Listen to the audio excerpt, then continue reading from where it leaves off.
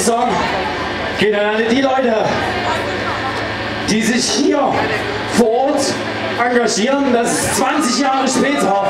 nach dem ersten Crossover Festival, immer noch hier in Krimmer ein Crossover Festival gibt. Und hier in dieser beschissenen Kleinstadt geht einfach